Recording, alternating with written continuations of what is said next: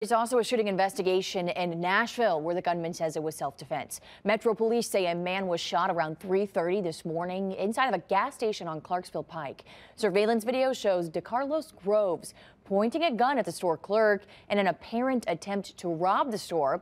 Groves jumped over the counter, landing on the clerk. The clerk then shot Groves. The two started fighting and more shots were fired. The clerk called police. Groves died at the scene.